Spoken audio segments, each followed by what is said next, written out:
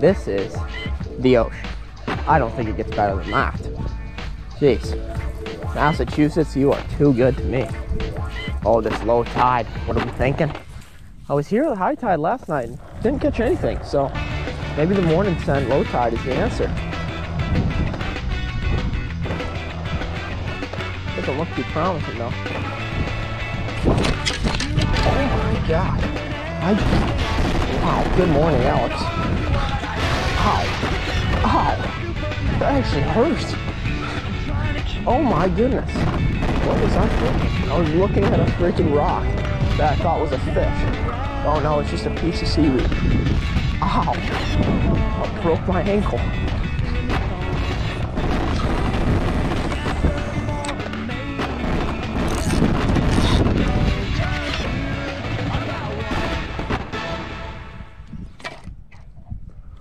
Wow.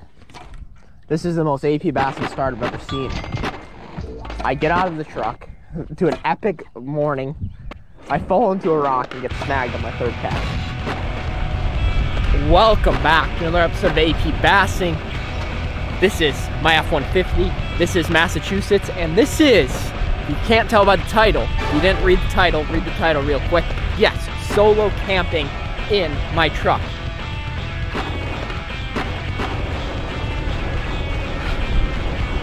Hopefully you guys enjoyed the intro I did for this video. That was 100% not fake. I got of my truck, fell on a rock, and broke off on my third cast. But now we're back at the truck, and today's video is going to be about this truck, when I got it, how I fitted it, and what is exactly going on in my life. Two days ago, I left John's cabin.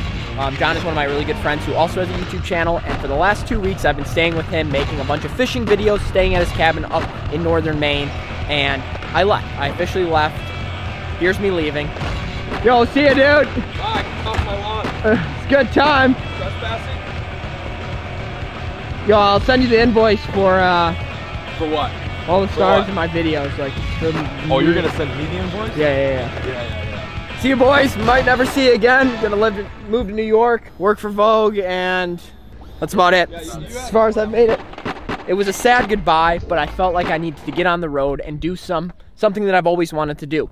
And this is going back to my roots back about two years ago now to when I bought a camper van. Yes, I bought a brand new, over a hundred thousand dollar camper van that I used for about four months and then I sold it. I never explained why I sold it. I never really showed a video on what happened to that camper van and why I sold it. Again, I never explained it.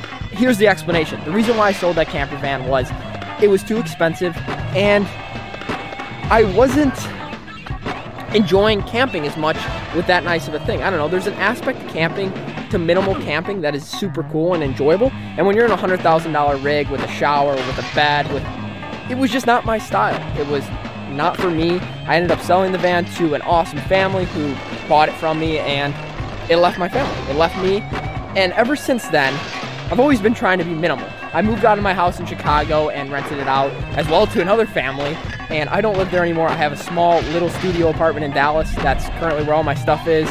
Other than that, I live in no house. I just have that small apartment. And I've been traveling around in this truck pretty much for the past four months.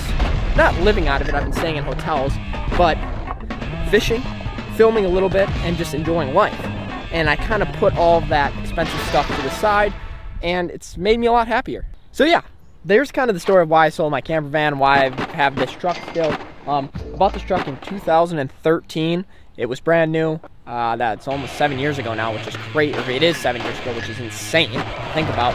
But I got this rear cap on the back of it as soon as I got it because my plan was to, keep, sleep in the back of it for fishing tournaments.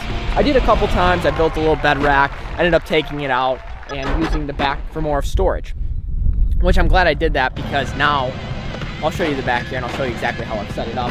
But first, before I show you how I set it up, this is day two. So I slept in it or three days ago. I was making my way down from Maine. I didn't. I was gonna make a video out of this, and then I didn't because I ended up fishing a couple spots and I didn't catch anything. But as I was making my way down the coast, there was a surf shack. There's that surfboard there. What a newfound love! You guys, you guys know all about. Wait, I love how all over the place this video is going already. you guys remember this?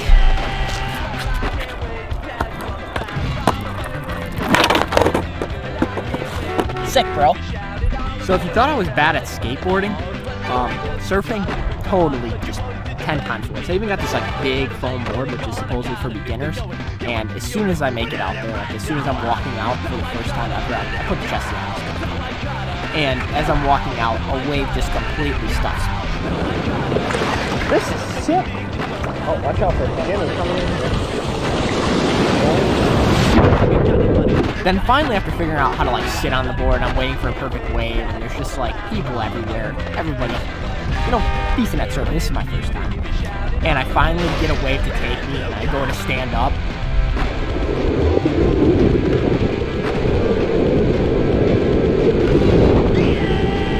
Completely just ate shit. So, anyways, that was kind of the surfing aspect. I brought it with me. I might actually try and do it tonight. There's some cool beaches on the Cape um, with some decent waves right now, which is cool. If I can figure this out and I can manage surfing, it'd just be a new hobby to add, and I, I'm always looking for new hobbies to add. I don't think I've exactly added skateboarding to the hobby list yet, but maybe one day. And the reason why all that stuff's important, it's, it's not really that important, but the reason why all that stuff is important is because it was part of the journey to get here. And after staying in the back of the truck for the first night, I didn't think I was going to be able to do it again. Because, well, here's my reaction after staying one night in the truck. That's where I slept last night. I definitely don't have this truck camping down. I slept like absolute poop, but I didn't die, so that's good. Woken up by landscapers this morning. It's about 8 o'clock. I'm gonna get on the road and do some more driving. I really, really badly need to do some organizing on this whole project, my whole life. I need to, like, if I'm gonna be doing this for two weeks, like, can't live my life like this, but yeah, so There's two things that are key to truck camping. One being organization, which I figured out on day one, as well as the second thing, which is a good bed, and I figured that out on day one as well, because that was one of the worst night's sleeps I've ever gotten. Um, wasn't comfortable, tossing and turning, and just gross. So now I'm gonna show you guys how I organize the truck, exactly how I have it set up for this mission, and kind of how I have the truck set up, as well as... What's up? I might be. Nice chatting with you guys. I was just filming there and they're like, Barrick. I'm like, what up? But um, they're headed to a place I might go to surf to, little beach. They're uh, they're playing some football and just chilling. I want to hit the waves. I want to hit the waves. guys. Let's get back to this video. Let's get back on track. You know, get my mind there. Organization. Two best things to do with your truck is organize as well as have a good bed.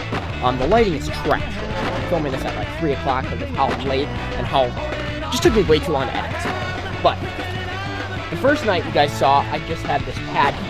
So that was, this is just like a blow up uh, kind of Galio pad kind of situation, and that's all I had. I had this, this, and that one blanket there. I woke up freezing. Um, it gets pretty cold here at night, which is so good for truck camping, but I was just so uncomfortable. So I went to Walmart the next morning and I picked up this two inch foam pad, which is like the greatest thing ever. I uh, slept amazing last night. It was $40, super cheap, and I picked up that blanket as well. So now I have three blankets, two pads, mint. It, it feels like my bed at home. So perfect. So as we climb in here, this is the bed. Um, just shoes off. Like, fall asleep right now. So mint, so mint telling you, $2 or $40 two inch foam pad at Walmart. Check it out. Then here goes organization.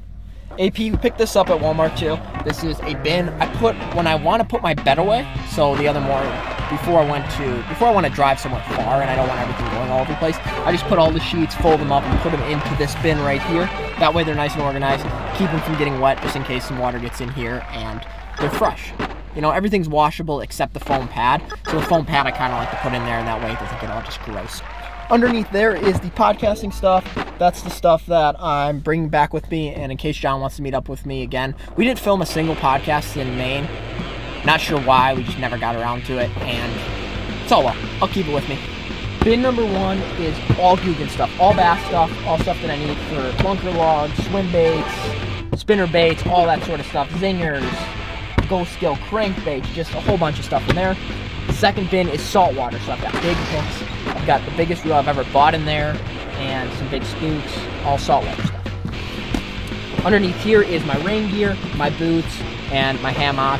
Uh, I know people hammock, hammock. Roast me. There's all my hammock stuff in there, my rain tent. Um, I hammock camped, I think. I don't know if I've ever even shown you guys on this channel, but I've done it a couple times. Super comfortable. I prefer the bed in the back of the truck, but just in case I find an area to do it, that's that. I got roasted in my comments for buying this $60 Yeti bucket. It was on sale for 35 at the store I was at. I decided to buy it and see what all the hype's about. I'm gonna do some bait fishing, some big bait fishing, and that's the reason why I bought this bucket to keep all the gooey stuff in this bucket. We'll see if I get to that. Cosmetics, towel, shoes are up there, and then the cooler. Got my water bottle, and right now, just some, fruit. Some fruit. Some good old fruit. There's the editing station right now. The back, I've got my clothes in there. Backpack, GoPro stuff, and some laundry detergent. And my tail light because uh, Alex Blackwell decided to run a trailer into it. Thanks, Alex. But that's seriously how easy um, the truck camping setup can be. Didn't spend a lot of money on it, and I'm not really sure how long I'm to be doing this for, but that is my first impressions of kind of sleeping in the truck for the past two nights. Definitely going to stay in there tonight one more time. Definitely going to stay in the truck one more time. I just said I'm to stay in it for two weeks, and I just said I'm to stay one more time. No, I'm, I'm totally kidding. I don't even know what I'm saying. Need some food. I've been doing this whole like kind of health kick where I've been trying to eat very healthy during the day and then just having one big meal at the end of the day. It's been making me more productive and just feel better.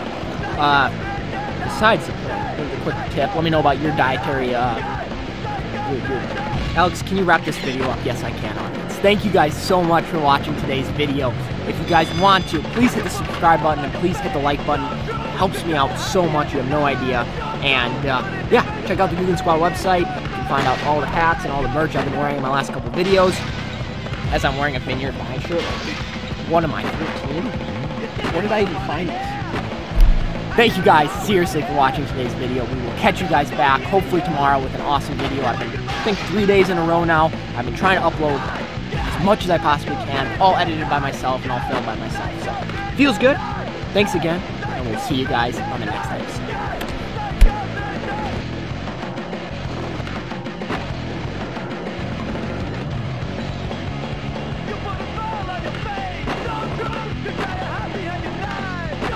This could be big. Where's he taking me? He's taking me to the ocean. Oh, yeah. Oh, oh, yeah.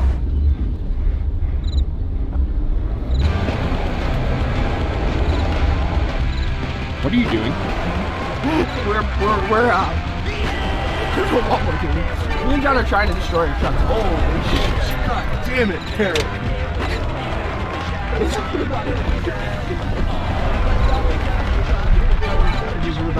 Wow, it did rain a lot last night. Hey guys, welcome back to the vlog. This is day number. I don't know. It is June 6th. Wow, it's June 6th. I turned 23 years old yesterday. Um, I feel like my life is just beginning. You ever feel that way? Yesterday I was pretty depressed about it, and now I'm pretty happy about it. So, good things are on in the motion. We're going for our first out to eat breakfast. COVID's officially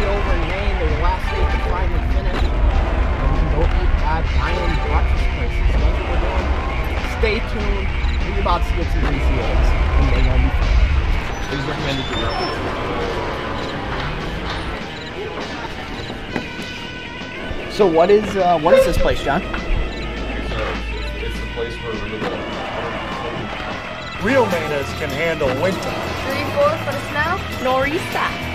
Just a dusting. How much we gonna get? Hard telling, not knowing. Just plow the dooryard. Then plow it again. In a mmm good gravy. Baked in a buttery, flaky crust. This is comfort food. This is Dysart. Come eat. At Dice Hacks. Dysarts.com. That's hilarious. Okay, so this is like a well-known spot. There's like eight of them. Um, just there's eight of them within like ten